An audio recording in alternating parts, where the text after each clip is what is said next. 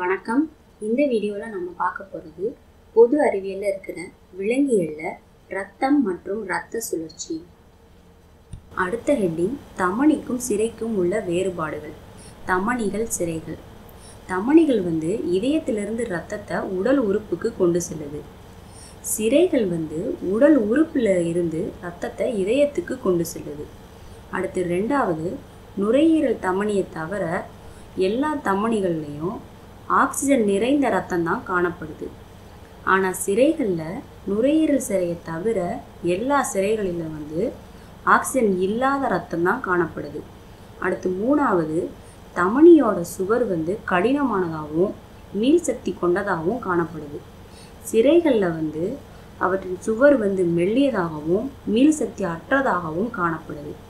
தமனிகள் வந்து உடல் தசைகளின் ஆழத்தில் காணப்படுது. சிறைகள் வந்து உடல் தசைகளின் மேல் பகுதியில் காணப்படுது.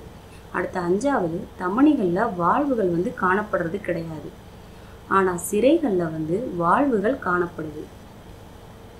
அடுத்த ஹெட்டிங் இரத்த சுழற்சி. விலங்குகளின் பரிணாம மாற்றங்களால தான் பழசல் உடல் அமைப்பு தோன்றியது. இந்த பழசல் உடல் அமைப்பினால தான் இரத்த சுற்று அமைப்பும் தோன்றின. இந்த அமைப்பினால உடலில் பல பகுதிகளுக்கும் தேவையான பொருட்கள் வந்து கடத்தப்படுது. பெரும்பாலான விலங்குகளில் பார்த்தீங்கன்னா மூடிய இரத்த குழாய் வழியே தான் ரத்தம் செல்லுது. இவ் அமைப்பில் இரத்த சுற்றுக்கு காரணமானதாக இதயம் அமைஞ்சிருக்கு. அடுத்ததாக மனிதனோட அமைப்பு வந்து பிற பாலூட்டிகளை போன்று இரட்டை சுற்று அமைப்பு முறையில் தான் இருக்குது இவ் அமைப்பில் அடிப்படை சுற்றில் இதய இயக்கத்தால் என்ன ஆகுதுன்னா ரத்தம் வந்து உடலில் பல பாகங்களுக்கு சென்று திரும்பி வரும். இதற்கு சிஸ்டமிக் அல்லது உடல் இரத்த ஓட்டம் என்று பெயர். இதே போன்று இதயத்திலிருந்து நுரையீரலுக்கு ரத்தம் சென்று திரும்ப திரும்பும். இதுக்கு வந்து நுரையீரல் இரத்த ஓட்டம்னு பெயர். அடுத்த ஹெட்டிங் சிஸ்டமிக் அல்லது உடல் இரத்த ஓட்டம். நுரையீரல் தமனியில் ஆக்சிஜன் நிறைந்த இரத்தத்தினை வந்து நுரையீரல்களில் இருந்து இந்த இடது ஏற்றியத்துக்கு எடுத்து செல்லும். இதயம் இயங்கும் வேலையில் இந்த இடது ஏற்றியத்திலிருந்து இடது வென்ட்ரிக்கிள்களுக்கு அப்புறம் ரத்தம் போகுது. அதுக்கப்புறமா பெருந்தமனி மூலமாக இதயத்திலிருந்து வெளியேறுது. இந்த பெருந்தமனி வந்து நூற்றுக்கணக்கான சிறு தமணிகளாக பிரிந்து உடல் முழுவதும் ரத்தத்தை பரப்புது. அடுத்ததா உடல் மற்றும் நுரையீரல் இரத்த ஓட்டங்களுக்குரிய படம் கொடுத்துருக்கேன் பார்த்துக்கோங்க. அடுத்ததா தமனிகள் வந்து பல கிளையாக பிரிஞ்சு நுண் தமணிகளை தோற்றுவிக்குது. இது எவ்வளோ இருக்குது அப்படின்னா நாலு இன்ட்டு பத்தின் அடுக்கு ஆறுன்னு கணக்கிடப்பட்டிருக்கு. இதை விட நான்கு மடங்குக்கு தந்துக்கிகள் தோன்றுது. இதே அளவுக்கு நுண் சிறைகளும் தோன்றுது. நுண் சிறைகள் இணைந்து தான் சிறைகள் தோன்றுது. அந்த சிறைகள் வந்து மேல் பெருஞ்சிரை கீழ் பெருஞ்சிரைன்னு பிரித்து ரத்தத்தை வந்து வலது ஆரிக்கிள்களுக்கு எடுத்து செல்லுது. இப் இந்த விதம் மாதிரி தான் இடது வென்ட்ரிக்கல்களில் இருந்து உடல் முழுவதும் சுற்றி விட்டு பின் ரத்தம் வந்து மீண்டும் வலது ஏற்றியத்தை அடைவதை தான் நாம் சிஸ்டமிக் அல்லது உடல் இரத்த ஓட்டம்னு சொல்கிறோம் அடுத்ததாக நுரையீரல் இரத்த ஓட்டம். இச்சுற்றின் முதல் நிலையில் என்ன ஆகுது அப்படின்னா வலது ஏற்றியத்திலிருந்து ரத்தம் வந்து வலது வென்றிக்கில் அடையும். இங்கிருந்து நுரையீரல் தமனி மூலமாக ரத்தம் வந்து நுரையீரலை அடையும். அடுத்ததாக நுரையீரலில் இருந்து ஆக்சிஜன் பெற்ற ரத்தம் வந்து நுரையீரல் சிறையோட மூலமாக மீண்டும் இதயத்தோட இடது ஏற்றியத்தை வந்தடையும். இதே மாதிரி தான் வலது வென்ட்ரிக்கில் இருந்து நுரையீரல் வழியாக ரத்தம் மீண்டு இடது வென்ட்ரிக்கிளை சென்றடைவதை தான் நுரையீரல் இரத்த ஓட்டம்னு சொல்கிறோம் அடுத்த ஹெட்டிங் போர்ட்டல் இரத்த ஓட்டம். சிஸ்டமிக் இரத்த ஓட்டத்தில் மண்ணீரல் கணையம் இறப்பை சிறுகுடல் போன்ற உறுப்புலேருந்து மீண்டு சிறைகள் வந்து நேரடியாக இதயத்தை அடையிறது கிடையாது. இவ்வுறுப்புகளில் இருந்து கல்லீரல் கல்லீரல் வந்து போர்ட்டல் சிறையின் மூலமாக தான் ரத்தத்தை வந்து கல்லீரலுக்கு சென்றடையுது. இச்சிறையோட உள் உறுப்புகளில் பார்த்தீங்கன்னா தந்துக்கிகளாக துவங்கி கல்லீரலுக்கு வந்து திரும்பவும் தந்துக்கிகளாக முடிவடையுது. இந்த கல்லீரலில் இந்த தந்துக்கிகள் வந்து மீண்டும் ஒருங்கிணைஞ்சு கல்லீரல் சிறையாக மாறுது. இந்த சிறை வந்து கீழ் பெருஞ்சிறையுடன் சேர்ந்து வலது ஏற்றியத்தை சென்றடையுது. இதைத்தான் நாம் போர்ட்டல் இரத்த ஓட்டம்னு சொல்கிறோம் அடுத்த ஹெட்டிங் இரத்த சுற்று உறுப்புகள். அதில் ஃபஸ்ட்டு இரத்த குழாய்களை பற்றி பார்க்கலாம். இதயத்திலிருந்து இரத்தத்தை வெளியேற்றும் குழாய்களை தமனின்னு சொல்கிறோம் இதுவே சிறைகள் வந்து இதயத்துக்கு இரத்தத்தை மீண்டும் கொண்டு வருது. இந்த குழாய்களை வந்து அளவு மற்றும் அவற்றின் சுவர் அமைப்பின் அடிப்படையில் மூணு வகையாக பிரிக்கப்படுது. ஒன்று கடத்தும் குழாய்கள் ரெண்டாவது பரவச் செய்யும் குழாய்கள் மூணாவது தடை ஏற்படுத்தும் குழாய்கள்.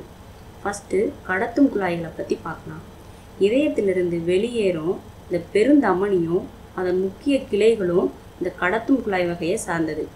இக்குழாய்களோட சுவர் பார்த்திங்கன்னா மீள்தன்மையுடையதாக இருக்குது அடுத்து ரெண்டாவது பரவச் செய்யும் குழாய்கள். இவை வந்து உறுப்புகளை சென்றடையும் சிறிய தமணிகள் இவை பார்த்திங்கன்னா உறுப்புகளினுள்ள பல கிளையாக பிரிஞ்சிருக்கு. இவற்றின் சுவர்கள் பார்த்தீங்கன்னா தசைத்தன்மை உடையவையாக இருக்குது அடுத்து மூணாவது தடை ஏற்படுத்தும் குழாய்கள். ஆர்டியோல்கள் அல்லது நுண் தமணிகள் வந்து இந்த வகையை சேர்ந்தது. இது வந்து பார்த்திங்கன்னா சிறிய குழல்களாக இருக்கும். ஆனால் இவற்றோட சுவர் வந்து தசைத்தன்மை கொண்டதாக இருக்கும். எனவே தான் இவை மேல்புற தடை உண்டாக்கும் தன்மையால் இரத்த அழுத்தத்தை குறைக்குது. அடுத்து நாலாவது கொடுக்கல் வாங்கல் குழாய்கள். இவையை தான் நம்ம தந்துக்கிகள்னு சொல்கிறோம் இக்குழாய்களில் சுவர்களின் வழியே இரத்தத்துக்கும் திசுக்களுக்கும் இடையில் பொருட்கள் இடமாற்றம் நடைபெறுது. இவ்வகையில் தான் ஆக்சிஜன் கார்பன் டை ஆக்சைடு உணவுப் பொருட்கள் நீர் அயனிகள் வைட்டமின்கள் ஹார்மோன்கள் எதிர் நச்சு போன்றவை சுவர் வழியே கடத்தப்படுது.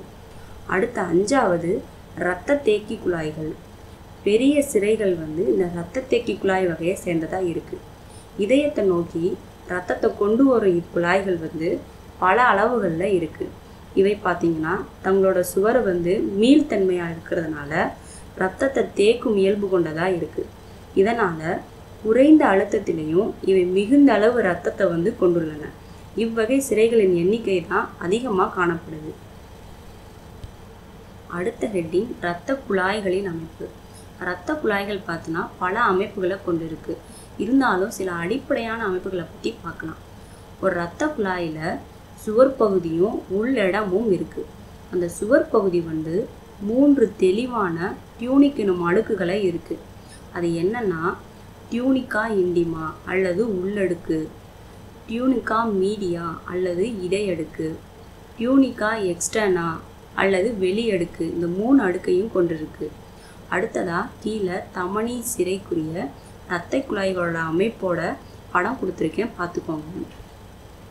அடுத்ததாக இந்த இரத்த குழாயோட உள் அடுக்கானது எண்டோத்தீலியம் மெல்லிய இணைப்பு திசு மீள்தன்மை நாறு போன்றவற்றால் ஆனது. இந்த நடு அடுக்கில் பார்த்தீங்கன்னா மெல்லிய தசை செல்கள் இருக்குது இவ்வடுக்கு இக்குழல் சுருங்குதலுக்கும் விரிதலுக்கும் காரணமாக இருக்குது வெளி அடுக்கு வந்து இணைப்பு திசுக்களால் ஆனது. இரத்த குழாயின் தடிமன் வந்து அக்குழாயின் விட்டம் மற்றும் அதன் வகையை பொறுத்ததாக இருக்குது அடுத்த ஹெட்டிங் இரத்த குழாயின் வகைகள். ஃபஸ்ட்டு பெரிய மீள்தன்மை தமனிகள். இவ்வகை தமனிகள் வந்து சுவற்றில் மீள்தன்மையுடைய நார்களை கொண்டிருக்கு. இவற்றில் சுவர் வந்து ஒரு மைக்ரான் அளவுடையதாக இருக்குது இவை வந்து இதய துடிப்பால் சுருங்கி விரியும்.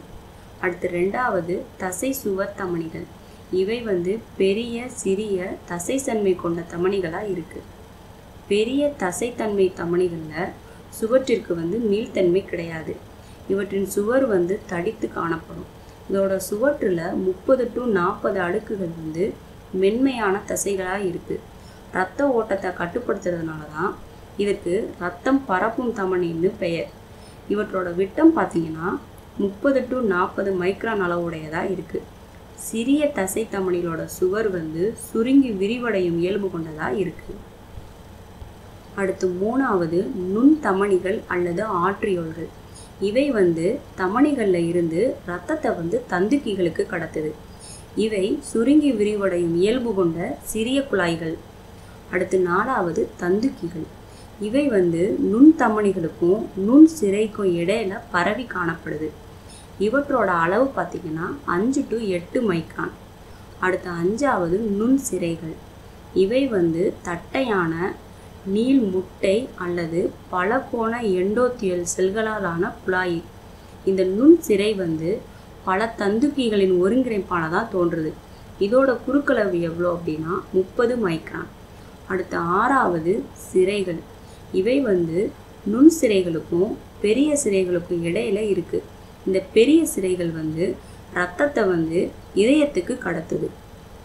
ரெண்டு மில்லிமீட்டர் குறுக்களவிற்கு மேற்பட்ட சிறைகளில் தான் வாழ்வு இருக்குது இந்த வாழ்வுகள் வந்து பிறைச்சந்திர வடிவம் கொண்டவையாக இருக்குது இவ்வாழ்வுகள் வந்து இதயத்தை நோக்கி ரத்தம் செல்வதை உறுதிப்படுத்துது. அடுத்த ஹெட்டிங் இரத்த குழாய்களில் கிளைகள். சில சமயங்களில் தமனி வந்து இரு சம கிளைகளாக பிரிஞ்சு முடிவடையுது. இக்கிளைகள் வந்து முடிவு கிளைகள்னு சொல்கிறோம் தமனியோட இரு புறங்களில் தோன்றும் குழாய்களுக்கு பக்க கிளைகள்னு சொல்கிறோம் இருவேறு தமனிகள் இணையும் இடங்களுக்கு அனஸ்டோமேசியஸ் அல்லது இணைப்பிடங்கள் என்று பெயர். அடுத்ததா இரத்த குழாய்களுக்கு இரத்த ஓட்டம். பிற உடற்பகுதிகளில் உள்ள உறுப்புகள் திசுக்கள் செல்களை போன்று இரத்த குழாய்களின் சுவற்றுக்கும் உணவுப் பொருள் வந்து தேவைப்படுது.